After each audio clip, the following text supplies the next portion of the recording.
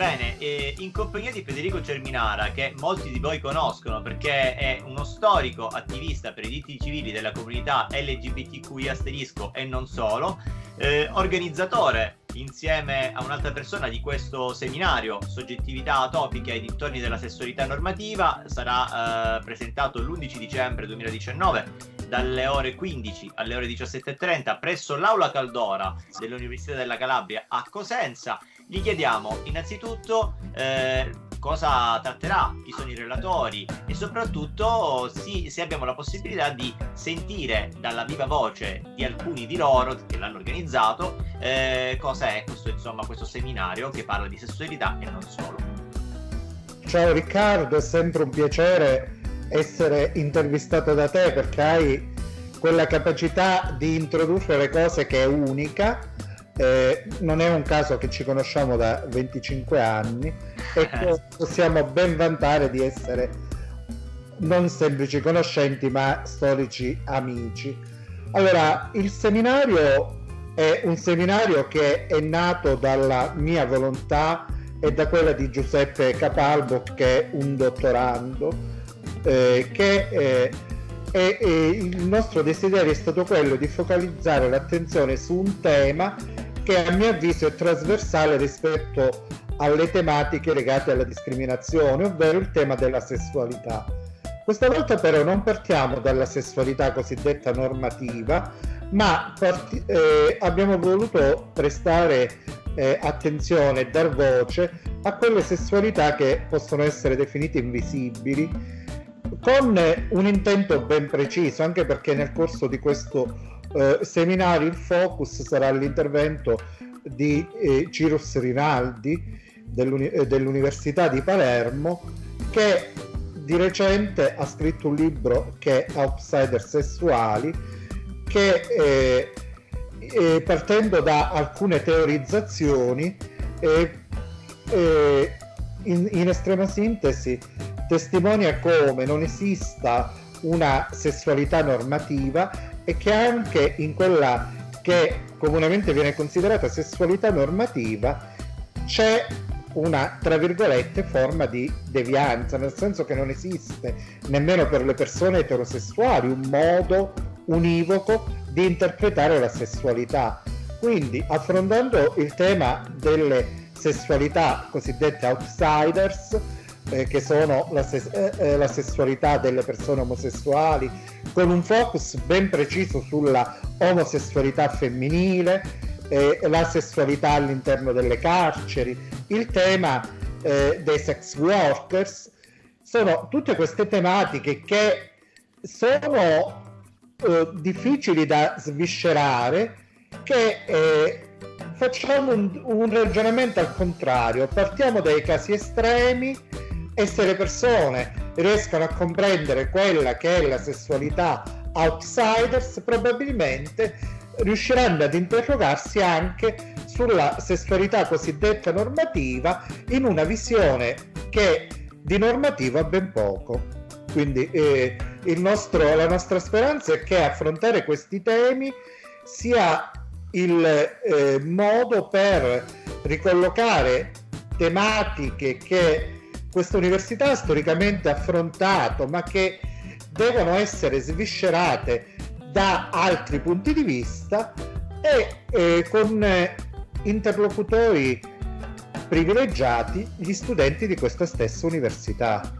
E quindi, sono... visto che tu parlavi di studenti dell'università, io a questo punto darei la parola agli studenti dell'università, perché gli studenti dell'università del corso della professoressa Bruno, Bruna Mancini eh, hanno tanto da dire. Tu che dici? Li facciamo parlare?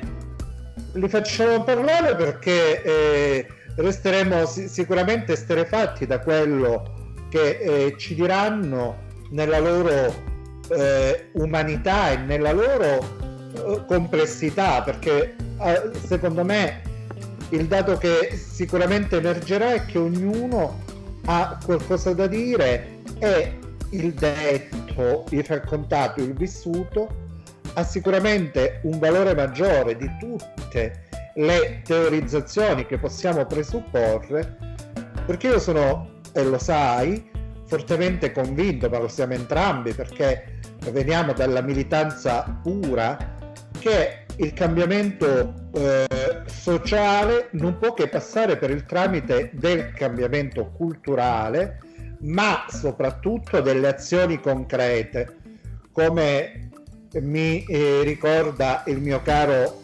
amico Marco Marchese, noi non siamo persone che facciamo parole, le parole le facciamo fare agli altri e siamo persone concrete, quindi è questo senso di concretezza e di attaccamento alla realtà che mi spinge, nonostante io l'11 dicembre compirò 45 anni e quindi mi sono fatto come regalo proprio questo eh, seminario, quella forza di credere sempre che le cose possano migliorare.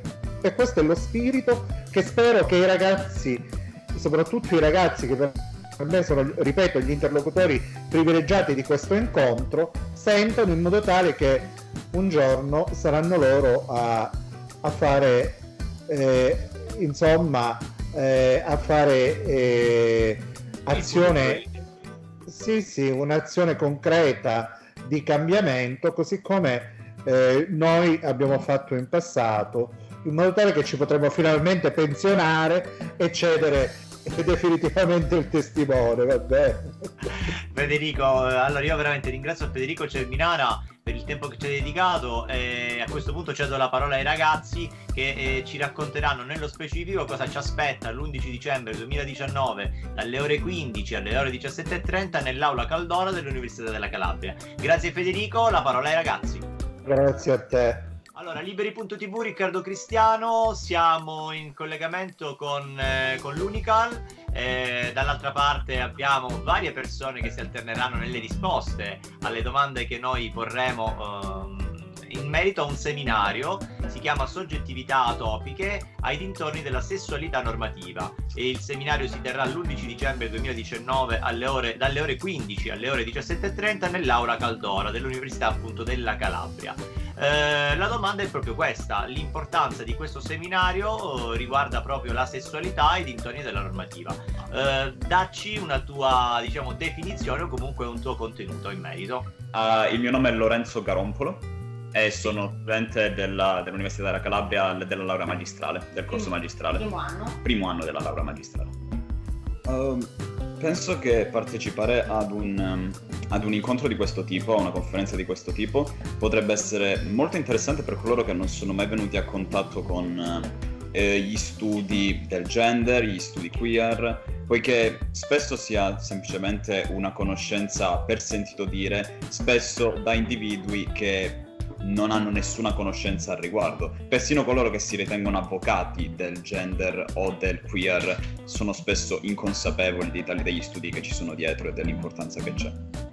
Ti faccio una domanda un po' più tecnica, più dettagliata. Tu parlavi appunto di studi di genere, di queer e proprio di avvocati. Spesso e volentieri gli avvocati sono anche all'esterno del mondo, diciamo, LGBTQI asterisco, perché non fanno parte della, del variopinto mondo. Quindi magari hanno studiato in maniera normativa, si sono documentati, però non sanno cosa voglia dire, eh, non so, anche una persona cisgender, che magari è una novità Spesso le terminologie soprattutto vengono confuse dal modo in cui sono illustrate da determinate persone. Per tale motivo, ad esempio nel nostro corso attuale, quello di letteratura inglese, la letteratura inglese almeno magistrale e se non ricordo male anche lezioni triennali da professoressa Mancini, quello che viene spiegato è spesso la terminologia che c'è dietro, le, le, che c'è dietro l'identità, nuovi tipi di identità come vengono illustrati nella nostra modernità soprattutto. Termine gender eh, prima di tutto è quello che viene spiegato perché è maggiormente importante per l'argomento.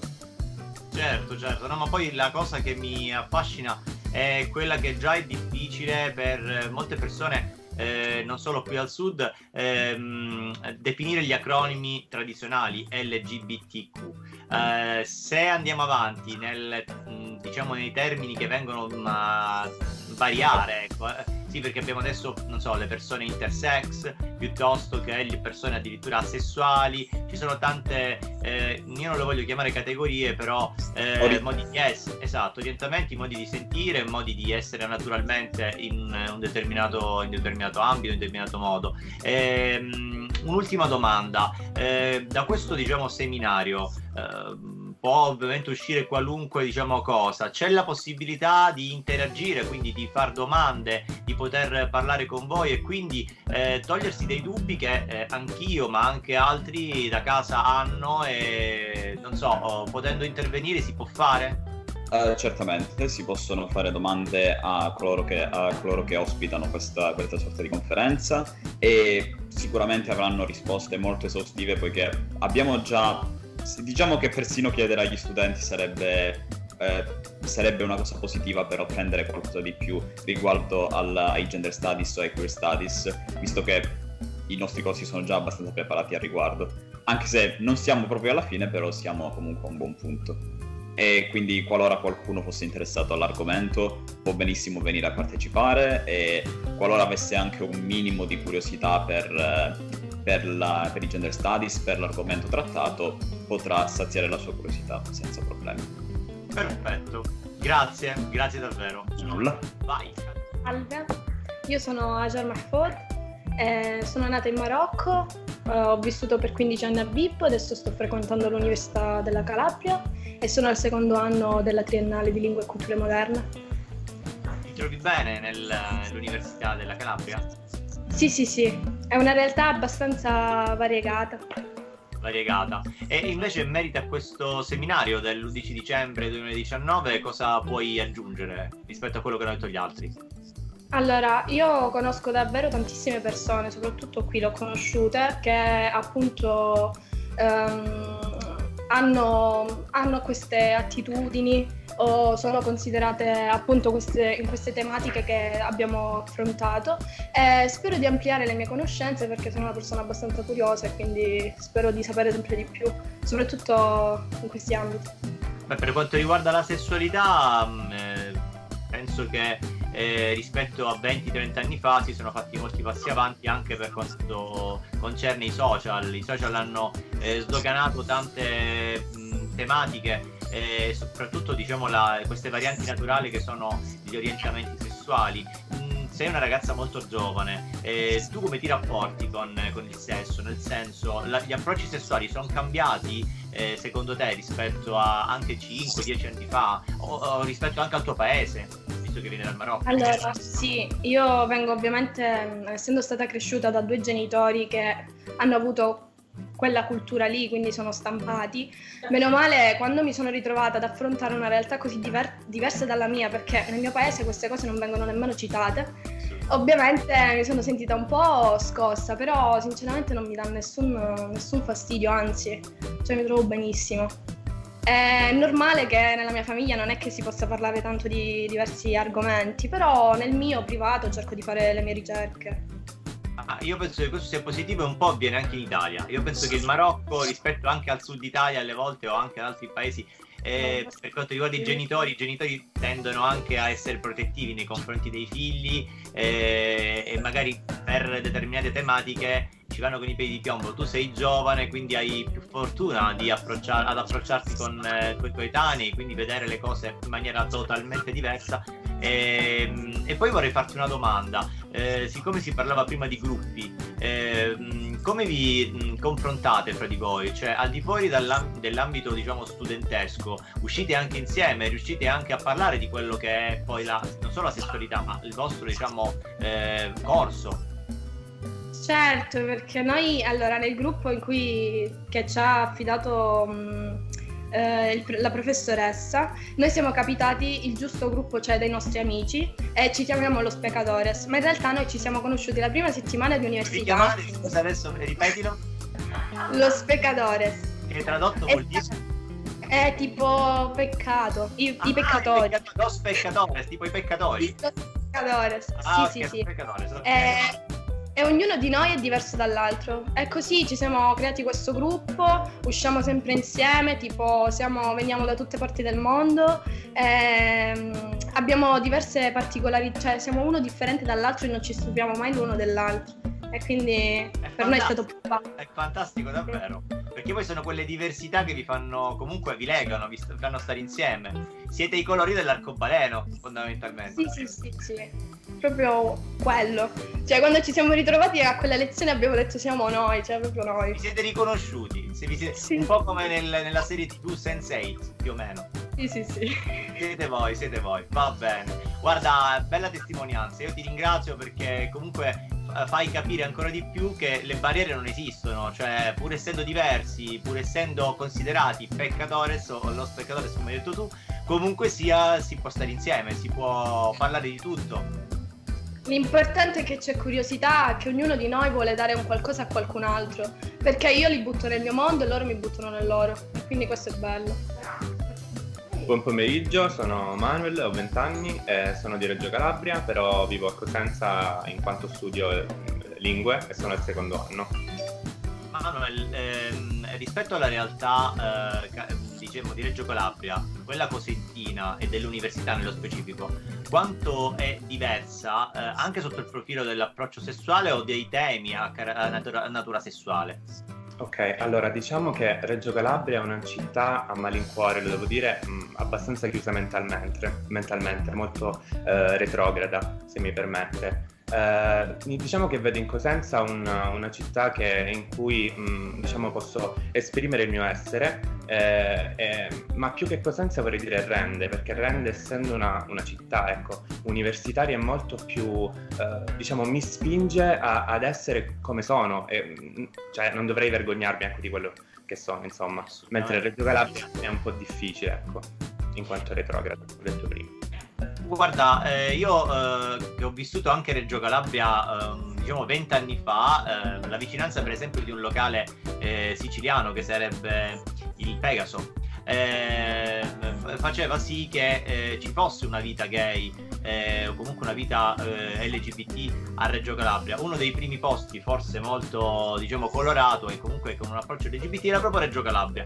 Poi le cose forse si sono ribaltate per la vicinanza dell'università. L'Università della Calabria ha fortunatamente un variegato mondo arcobaleno al suo interno e dà molta libertà. Nel corso, in questo specifico corso della professoressa ehm, e, e soprattutto del- dell'11 dicembre di questo seminario, ci vuoi dare ad esempio un, un primo tuo sentire di quello che è stato anche il lavoro di gruppo? Allora, intanto io leggendo la locandina eh, ho, ho visto che si parlerà anche di una stigmatizzazione eh, per quanto riguarda il corpo queer eh, in ambito eh, HIV e AIDS. Ecco, io vorrei dire che questo è eh, un ottimo passo in avanti, nel senso aprire le menti ai giovani è molto importante. Eh, anche il laboratorio che abbiamo fatto è stato molto interattivo. eh, diciamo che eh, questo, eh, questo es- mh, rendere partecipi i giovani di quello a cui possono andare incontro, quindi come HIV o AIDS, è molto molto importante e credo anche che questo, eh, questo incontro appunto dell'11 ehm, sia molto utile e lo spero, ma penso che insomma lo sia. Non so se sei al corrente del fatto che una volta si diceva che l'HIV era la, malet- la malattia degli omosessuali. Ah, eh, Sì. Poi fortunatamente la cultura è andata avanti e adesso addirittura c'è una recrudescenza non solo dell'HIV ma anche addirittura della sifilide e purtroppo avviene tra le persone eterosessuali e non, non esiste diciamo una categoria eh, che è più soggetta o meno a una determinata malattia. Anche questo nell'immaginario collettivo, almeno all'epoca, era diciamo uno stigma sociale, un po' come l'essere considerato gay, negativo, eh, o comunque come l'essere considerato queer o piuttosto addirittura le persone trans che vengono secondo me eh, tra le più stigmatizzate in quanto sono ancora oggi. Eh, la transfobia è comunque un grosso male, a parte l'omofobia, però la transfobia io lo considero anche un po' di più, diciamo, rispetto all'omofobia. Tu cosa ne pensi? Diciamo che la, eh, questo, cioè, la transfobia non è molto, cioè, scusatemi, la transessualità non è molto accettata, cioè ancora c'è gente eh, chiusa mentalmente, retrograda e anche mentecato, mi, mi permette di dirlo, che pensa che appunto la transessualità sia un- un- eh, una deviazione mentale, ma io dico, siamo nel 2020, apriamo un attimo gli occhi e, e vediamo quali sono realmente i problemi della vita.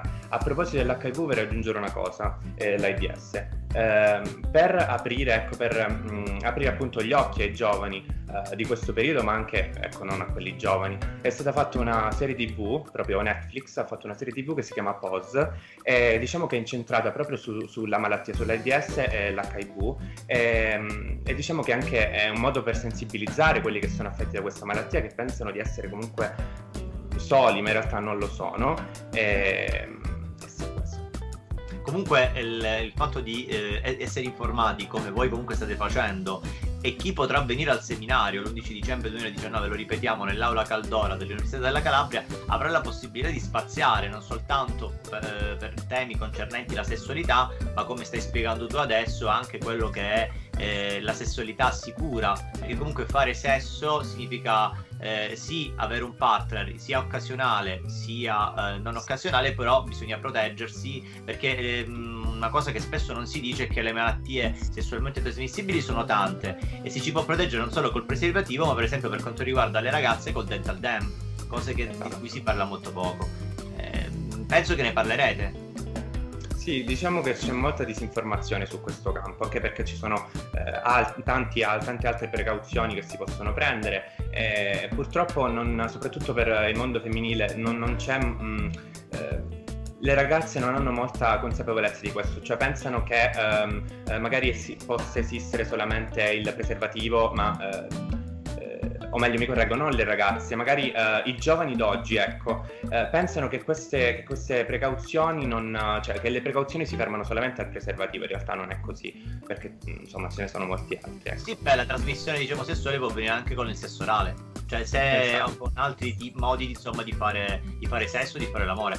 Io penso che vadano spiegate, eh, l'educazione sessuale andrebbe fatta nelle scuole o comunque informare il più possibile con campagne ad hoc. L'università io penso che con questi corsi lo stia già facendo e bisogna darne merito alla professoressa Bruni, ma eh, bisognerebbe davvero parlarne anche al di fuori. Questo seminario è secondo me non una goccia nel mare, ma invece è un raggio di sole in giornate buie come questa che però possono diventare colorate.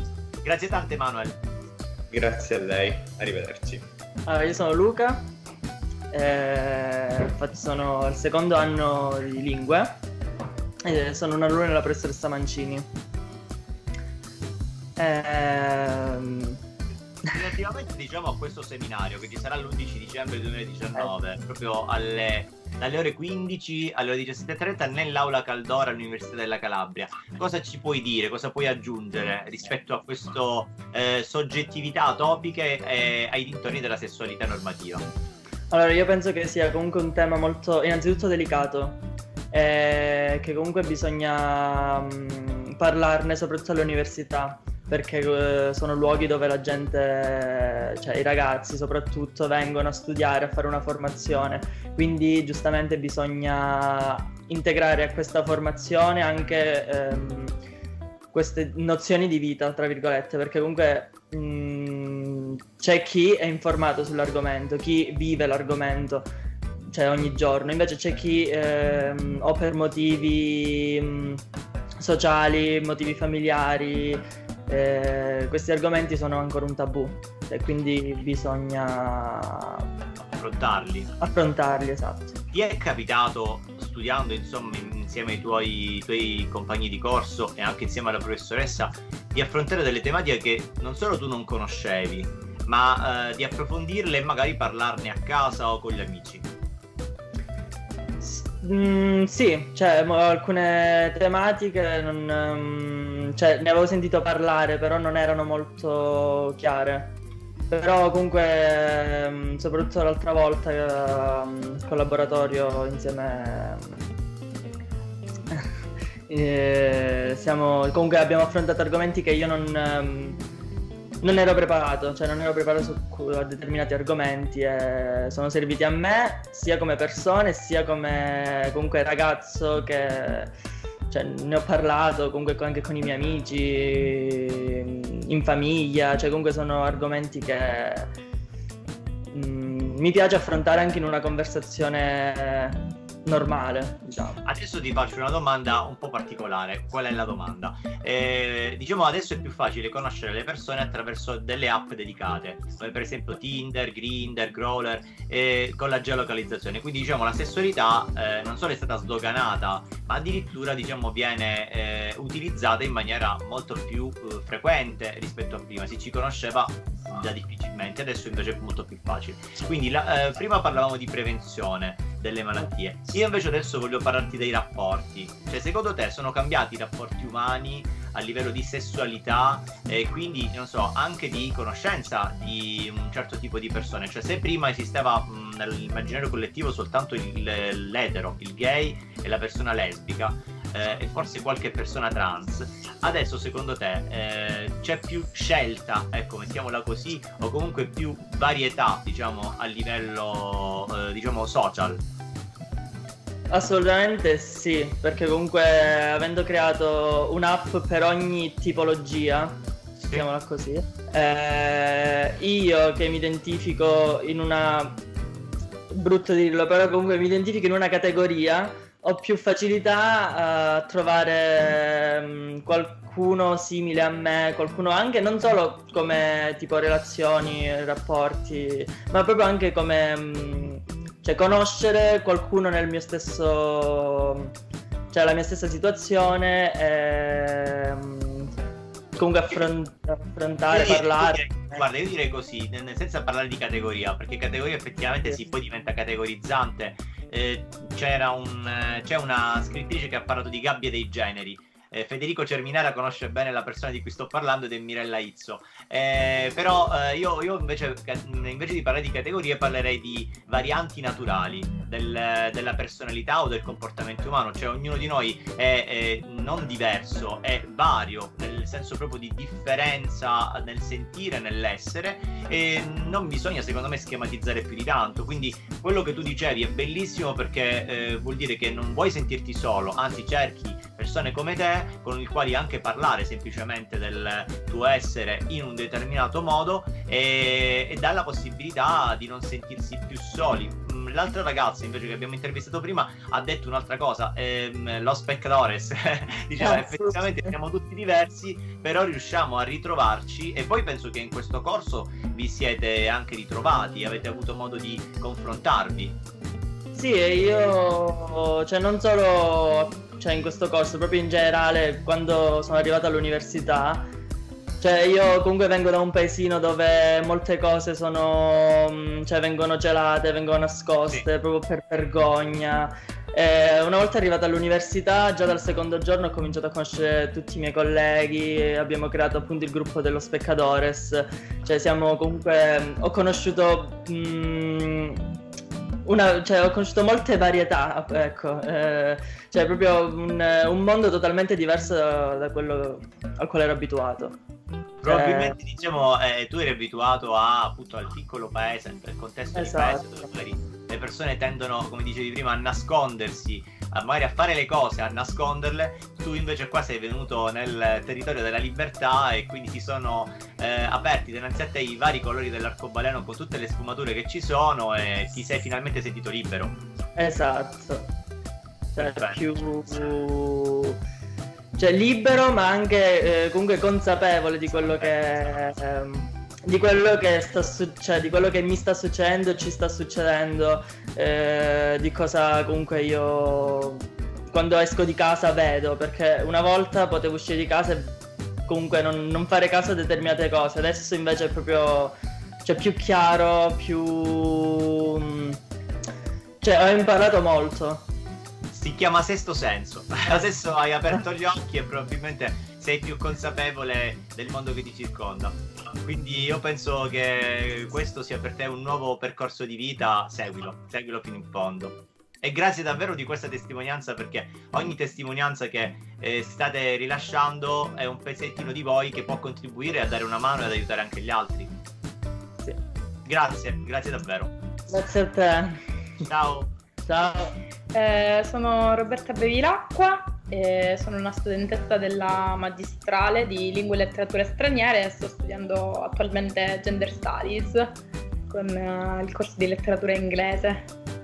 Gender E- quindi eh, mi, vuoi, mi, vuoi, spiegare un po' eh, la, la, tematica? Perché magari io non lo so, gli altri nemmeno.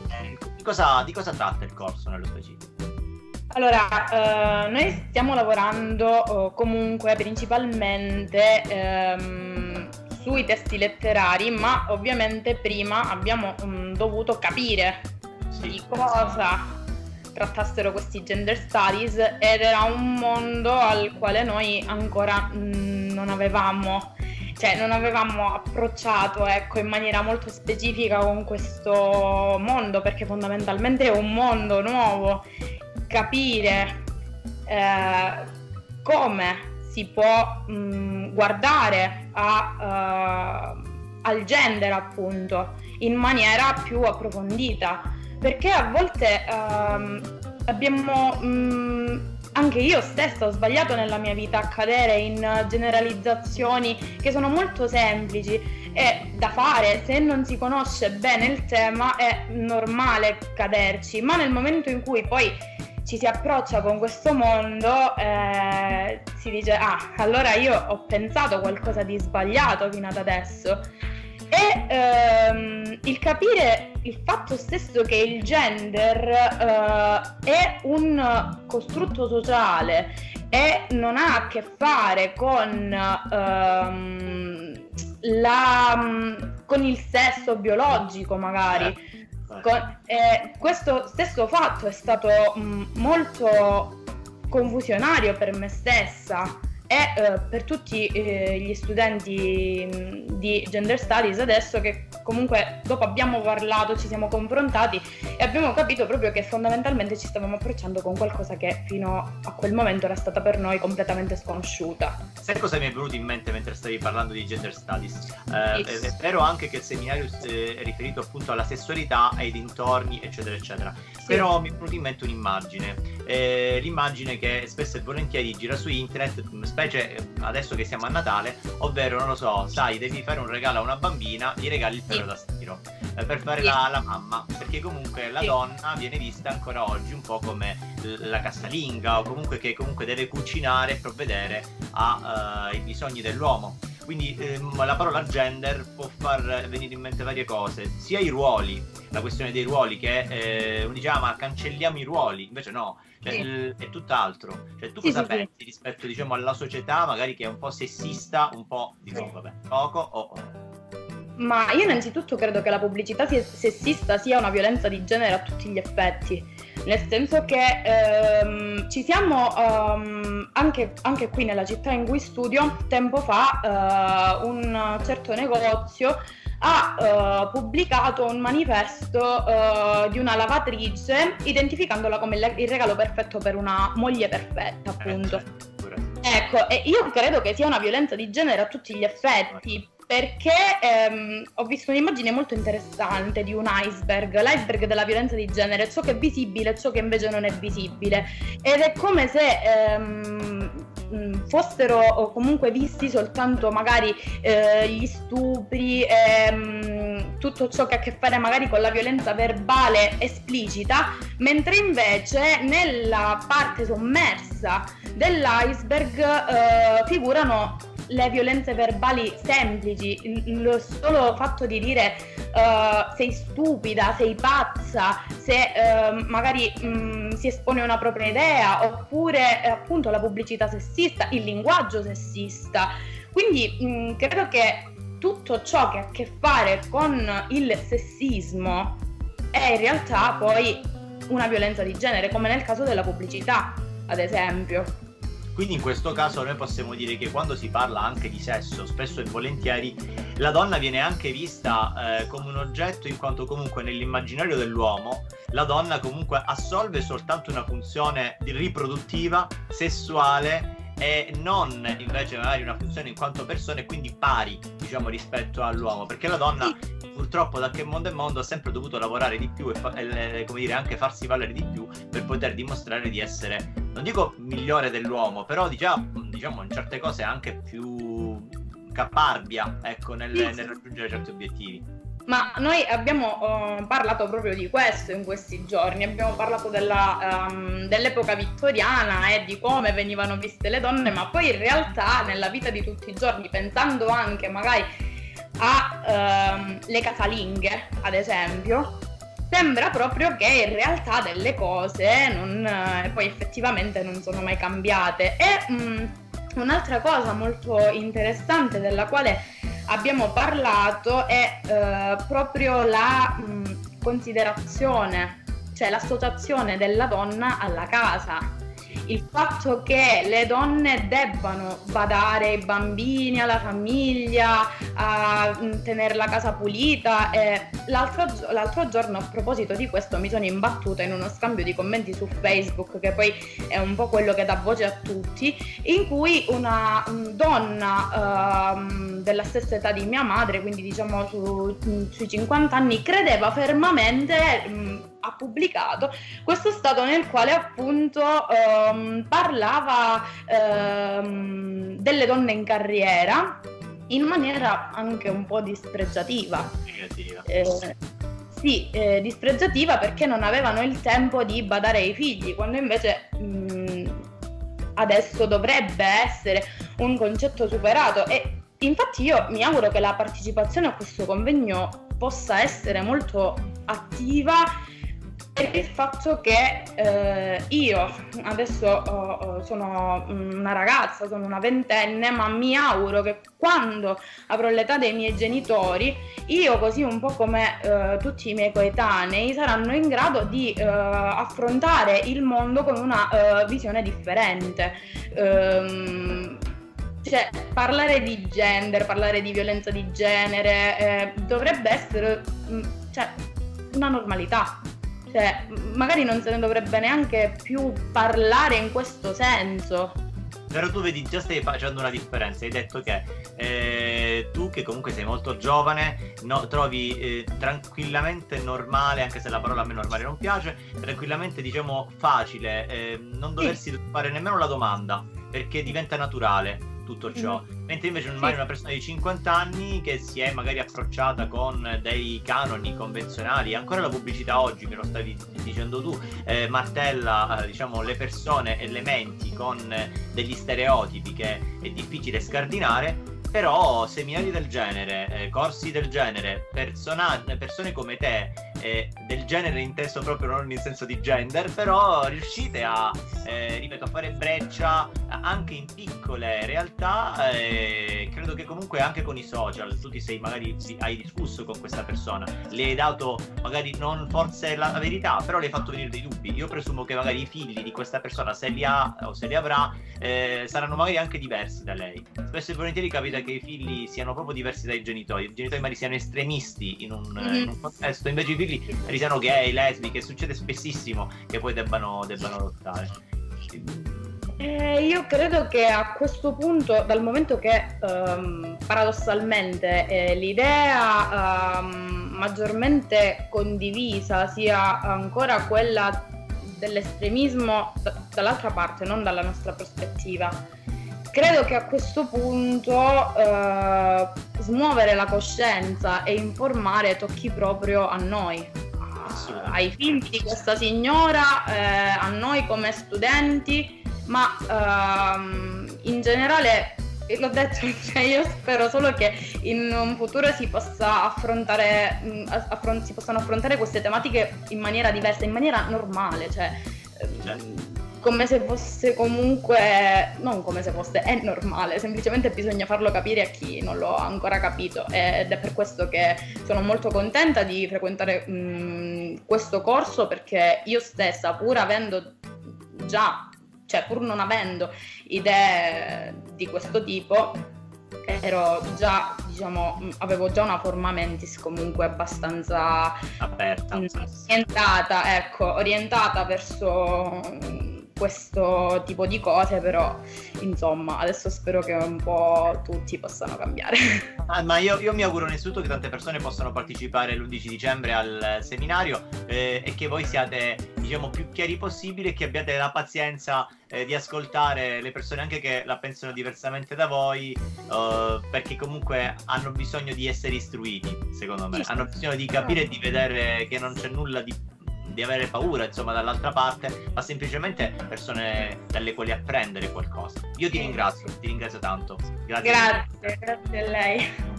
Bene, siamo ritornati dopo la testimonianza dei ragazzi. Mi preme ricordare che il eh, soggettività topica e dintorni della sessualità normativa è sempre organizzata all'interno del corso di letteratura inglese del Dipartimento di Studi Umanistici all'Università della Calabria presenta proprio questa giornata dell'11 dicembre. Quindi è importante perché all'interno di questo corso di letteratura inglese del Dipartimento degli Studi Umanistici ritroviamo delle tematiche sempre attuali, ma che soprattutto sono delle tematiche in itinere, che non finiscono mai di essere snocciolate. Quindi Federico penso che sia concorde con me nel dire che la parola che abbiamo dato poco fa ai ragazzi ha dato probabilmente la curiosità necessaria per invogliare chi ancora non sa cos'è il gender o che cosa sono gli studi di gender studies a comprenderlo meglio.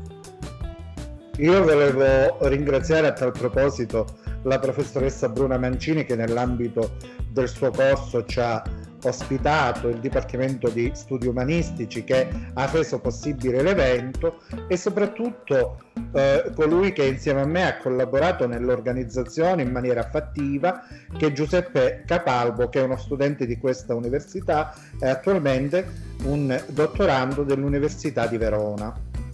Quindi grazie, grazie, davvero a tutti perché eh, spero che questo sia il primo di tutta una serie di attività che eh, possano rifocalizzare, come dicevo all'inizio, eh, l'interesse del, di questa università e della nuova governance su queste tematiche. Bene Federico, io ringrazio davvero nuovamente Federico Cerminara che eh, come ripetevamo all'inizio è storico, militante, attivista per i diritti civili eh, non solo LGBTQ asterisco e invitare tutti quelli che vorranno a partecipare a questo seminario che si terrà l'11 dicembre 2019 dalle ore 15 alle ore 17.30 presso l'aula Caldora dell'Università della Calabria. Salutiamo tutti gli amici web ascoltatori e se avete dei dubbi o comunque delle domande da porre potete tranquillamente contattare Federico Cerminara sul suo profilo Facebook o anche penso alla professoressa Bruna Mancini che sarà lieta di rispondere alle vostre domande. Grazie a tutti, ciao ragazzi! Ciao.